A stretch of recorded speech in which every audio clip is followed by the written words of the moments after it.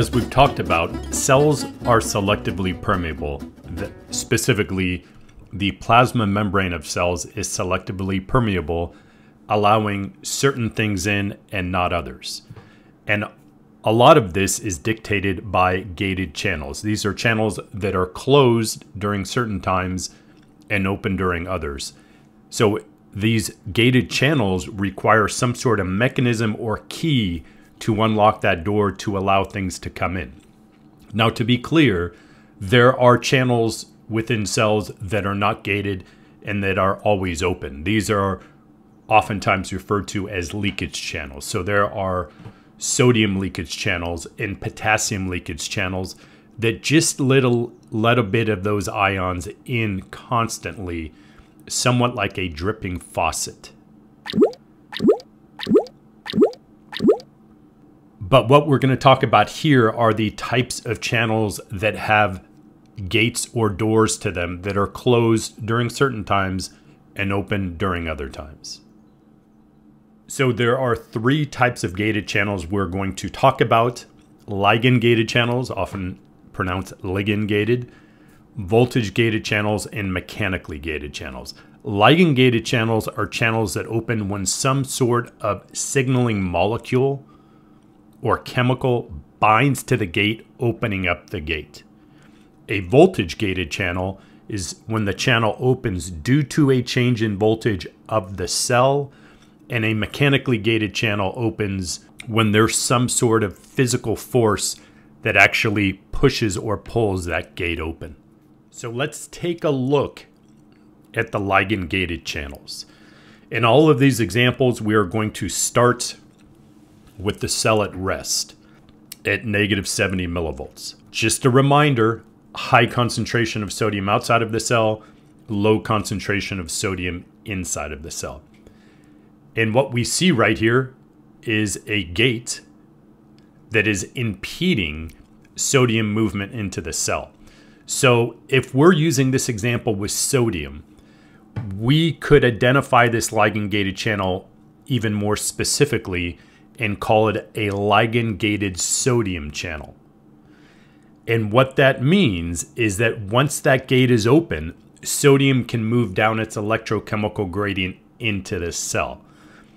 But for sodium to be able to do that, that gate needs to be open. And it's going to require some sort of signaling molecule to open up that gate. And so what we see here with this ligand gated channel is some ligand has bound to that gate to open up the gate. The gate's open, sodium's going to move into the cell.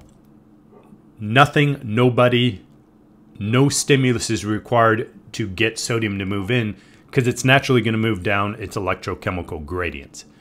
But certainly something needs to open up that gate and it's going to be this signaling molecule. It could be a hormone, it could be a neurotransmitter, if we use the example of acetylcholine, acetylcholine is a neurotransmitter that binds to ligand gated channels on skeletal muscle. So when the acetylcholine binds to the channel, it opens up the channel. One thing I want to stress with this image right here, or this process, is the ligand is not moving through the channel. The ligand is never moving through the channel. The ligand is merely the key that unlocks that door, that opens up the gate. Okay, so that's a ligand gated channel. There are a litany of ligands in our body, hormones, neurotransmitters, things known as paracrines and autocrines, quite a variety of different types of signaling molecules. By and large, ions are not functioning as these signaling entities. There are cases with myocardial contractile cells where calcium does move into the cell, binding to the sarcoplasmic reticulum, opening up a gate on the sarcoplasmic reticulum. And in that case, calcium is functioning as a signaling entity. I'm not calling it a molecule because calcium is not a molecule. And don't worry about that process with the myocardial contractile cells. I just want to highlight it's rare for the ion to be functioning as a signaling entity to activate a gate. Generally, it's a hormone or a neurotransmitter or some other signaling molecule. So once that sodium comes in, the ligand dissipates, disappears, and that gate closes. So what we see here is that the influx of sodium depolarized the cell. It made the cell positive. Keep in mind, we started at the resting state of negative 70 millivolts. We are now up to positive 30. And certainly for a depolarized cell doesn't have to be all the way up to positive 30. It could be positive 5 millivolts, and that's certainly depolarized. Or even we could say if the cell is at negative 40 millivolts, it's on the trajectory towards depolarization. Not technically depolarized, but it's no longer at its resting state. But here we are after the ligand gated channel open and then closed because when the ligand's not bound to it anymore, the gate closes and the cell is depolarized. Something else needs to happen to repolarize the cell to get it back to its resting state, and we will highlight that in a subsequent video. Another thing I want to point out with all of these gated channels, when they open and close, it is due to some sort of conformational change of that protein channel. We talked about conformational changes, which just is a change in shape or morphology of that protein, in this case, the protein channel. So the binding of the ligand causes a conformational change, which opens the gate, and the release of the ligand causes a conformational change, returns it back to its original conformation. Okay, here we're going to talk about voltage gated channels.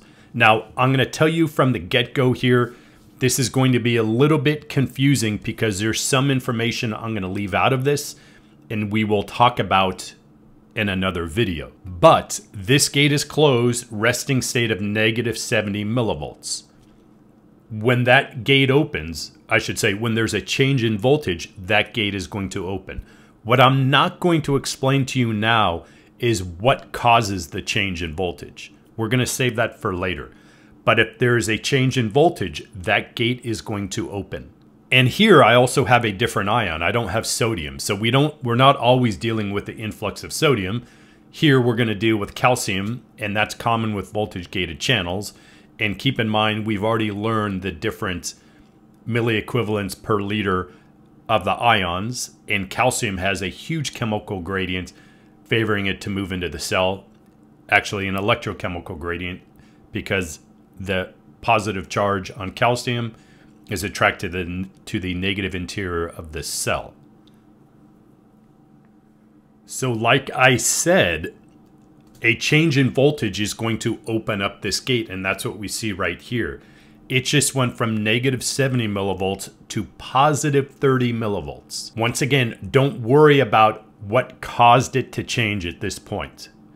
But the change in voltage opens up the gate. The change in voltage is going to induce a conformational change in that channel protein, resulting in the opening of the gate. Calcium will then move down its electrochemical gradients into the cell. We see these voltage gated channels in a number of places in the body. We see them in neurons, where a change in voltage is going to allow the propagation of the electrical potential from one end of the neuron to the another end of the neuron.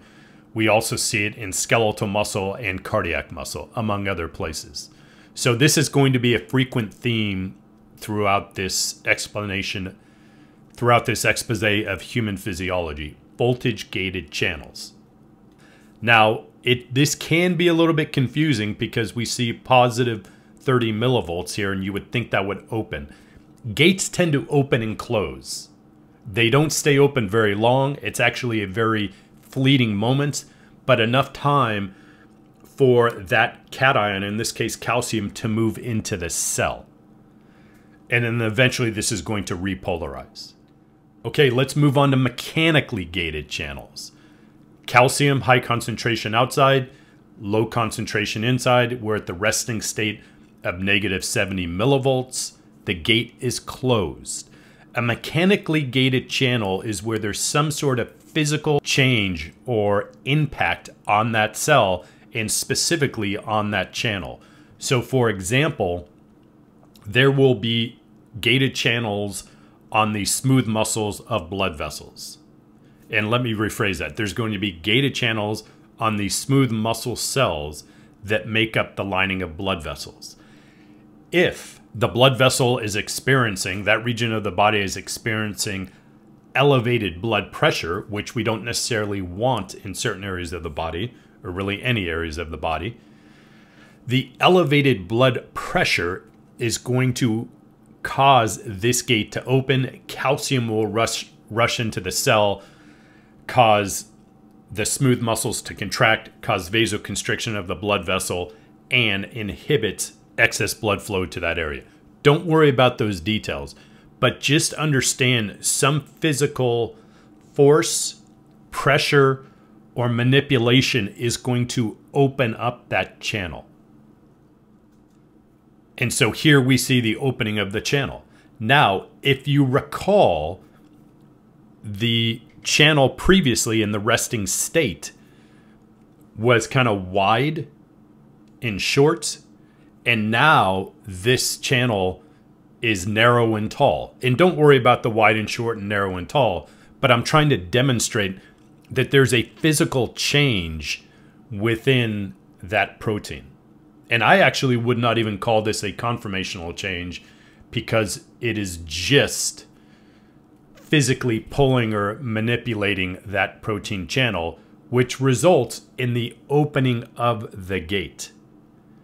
And then with the opening of the gate, we're going to get the movement of calcium down its electrochemical gradient. So as we proceed through these videos, what I'm outlining right now are the very basic principles that remain firm throughout the different body systems that we're going to talk about if we can understand every all these principles that I'm laying upon each other, then the subsequent topics of specific body systems are going to be more simplified. So we talked about gradients here, we talked about electrochemical gradients, we talked about a resting state of the cell, the excited state, all of that related to these gated channels. And then of course, once that gated channel has opened it closes because these gates stay open very briefly. We have this depolarized cell, which downstream something has to happen to return this back to its resting state.